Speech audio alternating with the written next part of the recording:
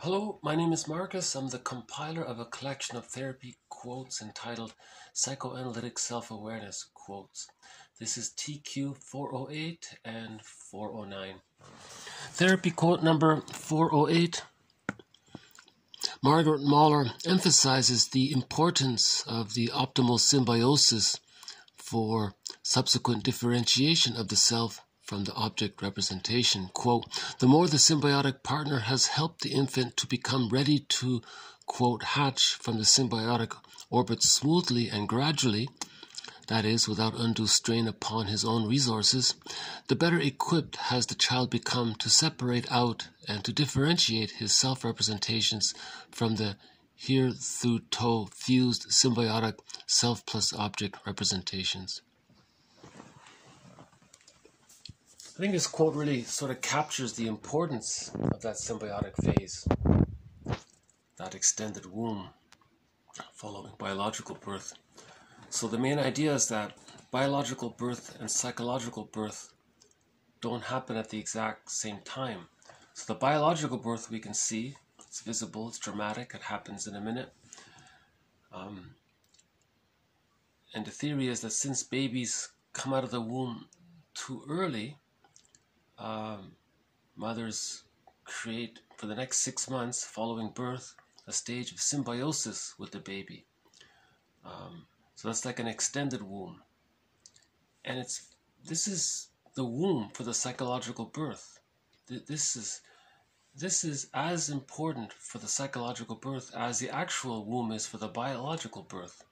So that stage of symbiosis from birth to six months, it's meant to uh, it's also called the stage of undifferentiation because just like in the actual womb, the baby doesn't know where he ends and his mother begins. Those boundaries haven't been established. Um, and um, if this stage from birth to six months is uh, optimal, uh,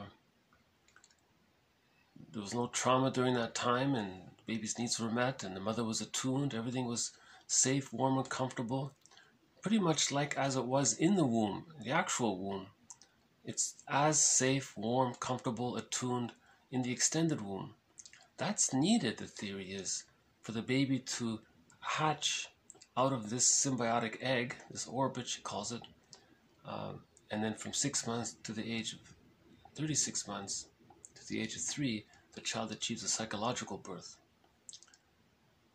Now, if that stage from birth to six months goes awry, and there's something something wrong happens, uh, then the child has a developmental trauma, and um, in the future that can be seen in dysfunctional relationships when the person projects the past onto the present and re-engages in negative symbiosis with the partner and the two people are arguing all the time and conflict habituated hostile dependent or emotional divorce. You see, uh, because a lot of this hostile, provocative arguing that's an attempt to reclaim the lost symbiosis. Um, so, when there's a developmental trauma or when there's any trauma, there's an attempt to re- redo it in the future to try to master it. But beyond the age of five, it, it can't be done. It's called development. It's called repetition compulsion gone awry or pathological represent, uh, pathological repetition because no one can travel back in time in a time machine to get the needs met or to change what happened. So if the child didn't get a safe time in the extended womb, um, then he wasn't prepared to go through the developmental stages. You see, so psychically, he's still um, he's still fused with the image of the mother. So his representation of himself and his psyche and his representation of the other, they're still kind of blurred there. So he never really left the symbiotic egg psychically. Um, that's the theory. If that's the case, when there's a trauma like that, that's some people believe that's the origin or the inner world of the narcissistic pattern right there. TQ 409.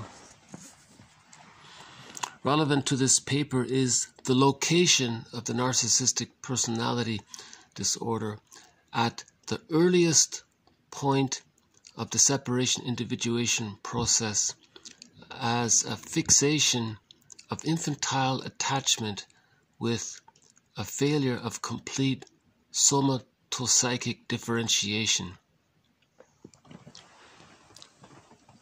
So that stage of undifferentiation didn't get mastered. So psychically, the child and the mother in the child's mind are still bonded. Maybe there's a partial separation, but they're still there, you see. Um, so that developmental trauma is there.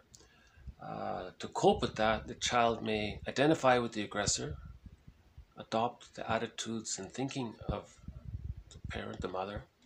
So the person uh, resembles the mother a lot in their thinking and attitudes and um, and then doing to others what was done to them to communicate the, the problem or um, because infantile megalomania is unresolved and the child is merged or fused with the omnipotent other so there's a blending there of the infantile megalomania and the omnipotence of the other. So there's that so there's like the two factors contributing to the narcissistic pattern and that's why the person with the narcissistic pattern is always demanding to be one up, is always demanding or attempting to one up over others. Because um, the mother was one up over the child, the child becomes the mother. Now, psychically, the person is trying to repeat that. He's caught in that developmental arrest, right? So, again, these two quotes really highlight the importance of how important it is for that extended womb to be warm, safe, attuned. Um, and if there is any prenatal trauma or birth trauma, it can be resolved if from birth to six months. If the attachment is secure enough, all those past traumas can be resolved. Uh, sometimes, if the prenatal trauma is too severe or if the birth trauma is too severe, it's possible they may interfere with the ability of the mother and the child to form a secure attachment. And we had that quote yesterday about prenatal trauma. Uh, I was thinking about a little bit. You know, the pe- people, the mother thought that because she felt the baby kicking, she was so excited and happy that the baby was kicking, and then she called everybody over, "Come, look, the baby, feel, touch, look, it's kicking." Everyone's so excited. They, it was a huge disconnect. The baby was under huge duress The baby was frightened and scared. Uh, in, in one case, it was uh, presented that the baby, it was believed that the baby had the cord twisted around his leg, and he was he couldn't breathe properly, and he was frightened and terrified. So he was fighting for his life practically. He was extremely scared. And then the people on the outside were thinking this was a great thing, and the baby on the inside is suffering immensely. And it was like this huge disconnect that people couldn't consider the possibility of the baby being traumatized. But as um, Janov said um, in yesterday's quote and in his material, there's no doubt about it. Babies can be traumatized in the womb. And if it's severe, uh, it can possibly interfere with the mother's ability to offer a secure attachment style after birth. And that would lead to a developmental trauma. Right. You know, that disconnect between people not imagining that the baby kicking is uh, under a great duress or could be under great duress. If it's just a momentary little thing, maybe it's nothing, but the baby's kicking. Remember at the rock concert? For 30 minutes, the baby was wildly flailing about, kicking wildly in the belly. And it finally forced, the mother was forced was escorted out to stop the to save the baby kind of thing something like that so it, prenatal stress prenatal duress or prenatal distress syndrome does exist you know and we had all these other previous uh, quotes about uh, prenatal trauma about the monkeys and and, uh, and uh, I think there was another one as well so anyways um, so th- there's a real importance for the baby to feel safe in the womb, and then when the birth takes place, it's called a lotus birth. The birth, the baby is smoothly handed to the mother right away. The cord stays, the placenta can stay. The placenta will come out a day later and it can be put in a bowl and it can sit beside the mother. You know, um, remember the cord is a part of the baby and the placenta is a part of the baby. They were his companions, they were his guides, you know, he was support system. They were his support system. Leave it on there. You want to make the transition as smooth as possible so the baby doesn't feel that there's a shock there. So you don't want birth trauma. Um, if there is some disturbance, it may not be enough to cause the trauma, and the child can still bond and a secure attachment is made. But if the birth trauma is very severe, uh, the baby may not want to bond with the mother. The baby's scared of the mother. You know, so um, anyways, uh, the point is, um, so let's say uh, there's no birth trauma, or it's and there's no prenatal trauma, and now an extended womb is offered from birth to six months. So let's say the biological birth is okay. Now we're looking for the psychological birth, which is what this series is about the psychological birth. So to get the psychological birth, now our starting point is from birth to six months, the stage of symbiosis. Okay, she says here, Mahler, Margaret Mahler emphasizes the importance of the optimal symbiosis, the optimal symbiosis for subsequent differentiation of the self from the other representation. Okay, the more the mother has helped her baby to become ready to hatch from the symbiotic egg orbit smoothly and gradually, that is, without due strain upon the baby's resources, the better equipped has the baby become to separate out and to differentiate his self representation from this fused self mother representation. So then you get the sep- you need that separation. Once that s- separation has taken place, the child has ontological the foundation for ontological security. He can achieve ontological security at the age of three. If he doesn't get that smooth uh, transition out of the egg, if he's traumatized during that symbiotic egg, he's gonna miss he's gonna miss the the foundational requirements to achieve the ontological security at the age of three. So assuming, so again, uh, that first six months is so key. And during the symbiosis, the baby has a need, the mother meets the need. No, the mother is not, shouldn't gaslight the baby. The mother shouldn't say, no baby, you're gonna eat when I say, and you're not, you're gonna sleep when I say, you're gonna wake up when I tell you to eat. You can't do all these kinds of things. The life of the baby from birth to six months should be treated with him being the little God that he was in the womb. He's meant to be a little God from birth to six months during that time. He's the boss. He's let him be the God from birth to the golden child, whatever, from birth to six months. Allow that and let him meet everything he, he needs, just like all of his needs were met in the womb. Because babies come human babies come out too early, so we offer that extended womb from birth to six months. And that sets the stage for the hatching process to achieve the psychological birth. So, as mentioned before, if it goes well, if the stage of symbiosis goes well, remember if it doesn't, that led to the bully pattern we had in the previous quote. The bully was provocative and hostile and looking around trying to cause trouble because he was trying to recreate the symbiosis that he never got. See, he can't do it. That's why he's causing so much trouble and he's disturbed. He's caught in the repetition compulsion of the developmental trauma of not getting his symbiotic, his symbiotic needs met. That's never mind people with trauma after the after the six months. That's not that harmful, but look how harmful it is to to have a, a child not experience his symbiotic needs met. He's going to be very uh, uh, aggressive. Uh, uh, but the positive intention is um, he's trying to recapture or regain or at least communicate that he didn't get his symbiotic needs met. So at best, he's trying to say, I never got my symbiotic needs met. So the bully wants someone to mirror him perfectly, to do everything he says, follow him perfectly, to be at his beck and call, just like the mother was supposed to be at the baby's beck and call. Okay, so let's say the symbiotic uh, egg was okay.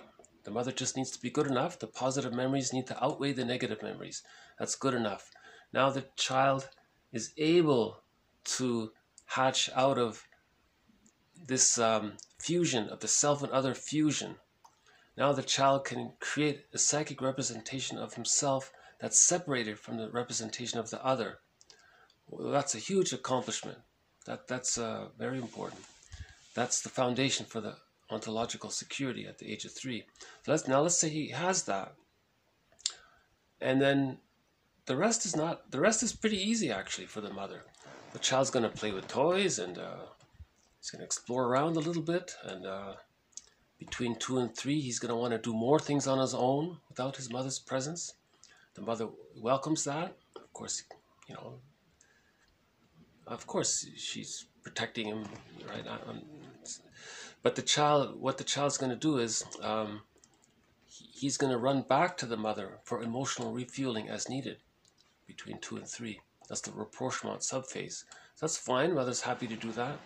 And then by the age of three, the child has fully internalized all those loving memories, all those experiences, and he has what's called ontological security, a holding introject basic trust, Erikson called it. He has that internal basic that forms his psychic structure.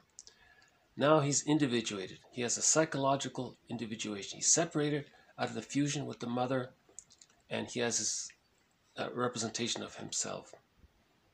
Right? So the psychic umbilical cord, his life force is connected to himself now. He's achieved a psychological birth. If the life force is still attached to the mother, he hasn't achieved it yet. That's the theory. But uh, so a secure attachment style all the way through from birth to three is needed for the psychological birth. And with the psychological birth, with uh, the life force connected to himself, uh, he has he now has access. That's the key to his real self, the treasures of the real self. Now he knows his own unique individual wishes. Now he knows what gifts he were given for his uniqueness. Uh, he feels happy to uh, express himself from his unique, uh, his, from his uniqueness. He, he has a, his own personality, as right. Um, it's not it's not a personality in rebellion against the mother. With the insecure attachment, it's all rebellion against the mother. But with the secure attachment style, he can express himself. He he can set a goal. He can learn. He's, he's curious, wide range of feelings. He's in touch with himself. He can, whole object relations are there. He can relate to others as whole objects because he has a representation of himself. It's a whole. And the other is also a whole. So he has mutual relating there. He doesn't exploit others and need others. He's not trying to extract something from others. He's that's not he, he has ontological security, right? Uh, and then uh, all the capacities of the real self are available to him, right? Uh, and another video by Masterson talked about he had the list there of the capacities of the real self. You know, so he's emotionally free. He's achieved individuation, the psychological birth, and uh, he'll have healthy relationships. And uh, he's caring. He's warm. He's creative. His humor is helpful. It's fun. And uh, um, see, with the insecure attachment style, the humor is bitter, sarcastic, biting, you see, it's anger at the mother, all that sarcasm. It's biting, it's bitter, it's it's biting the mother. You see, it's it's uh, uh, a lot of anger there. Most most comedians come from an insecure attachment style, right? Um, so uh, yeah, I I just really think more. It's worth highlighting this point about. Uh, we, we have the womb for the biological birth, okay? Now we need a womb for the psychological birth. That's the stage of symbiosis from birth to six months. That needs to be respected and uh, and the baby needs to be the golden child for those six months, you know.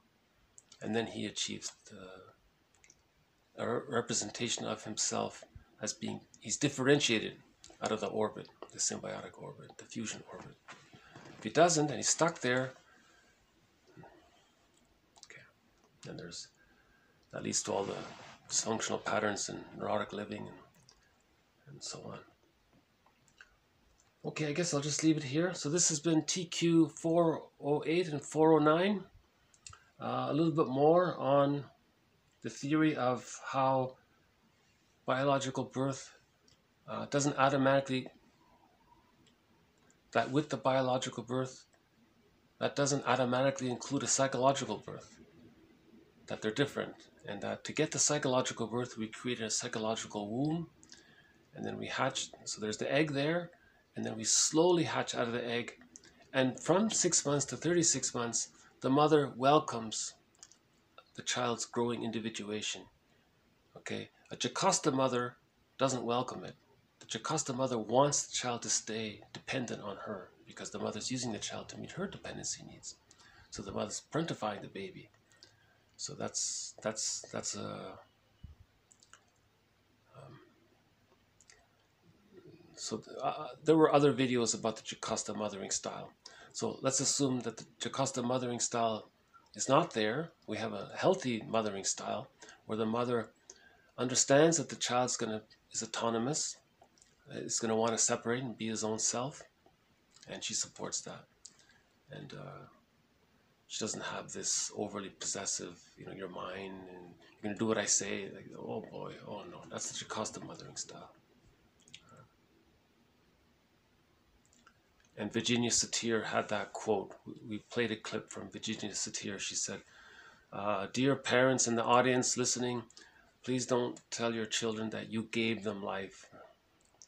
You created the conditions for it and you, you house their bodies, but you don't occupy their souls like that. You don't use them like that. You know, they're, they're, uh, uh, and then we had that poem from Gibran um, about this as well. Okay uh, I'll leave it here. So thank you very much. Uh, this has been TQ 408 and 409. More to follow. Thank you. Bye for now.